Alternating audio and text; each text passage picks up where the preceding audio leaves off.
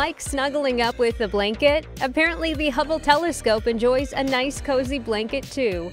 NASA says Hubble and other spacecraft need thermal blankets to protect them from major temperature changes in space. Their thermal blanket lab makes sure space equipment doesn't get too hot or too cold. Watch thermal blanket technicians like Paula Cain as they use precision to craft mylar shields. When Paula, who has a background in fashion, first started at NASA, she worked on a project involving Hubble and its servicing mission.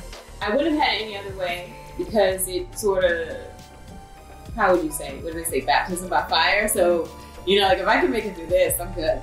She worked on the multi-use lightweight equipment carrier, or mule, which was important when sending equipment for upgrades and repairs during the mission.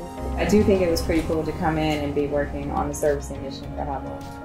I don't think there's many places that something like that could happen, you know, where you come in and you're working on something that important that you know is in history.